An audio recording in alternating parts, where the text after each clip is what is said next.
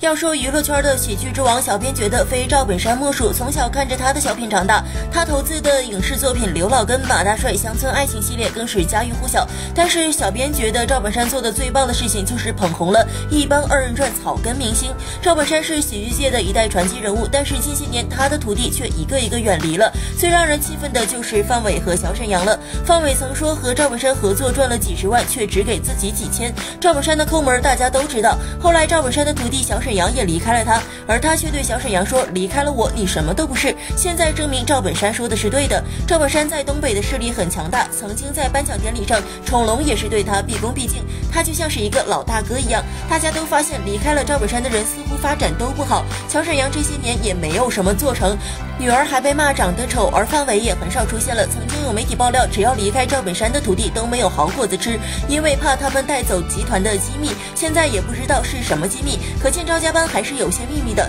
赵本山只是选择打压曾经的徒弟了。你们觉得赵本山是一个怎么样的人呢？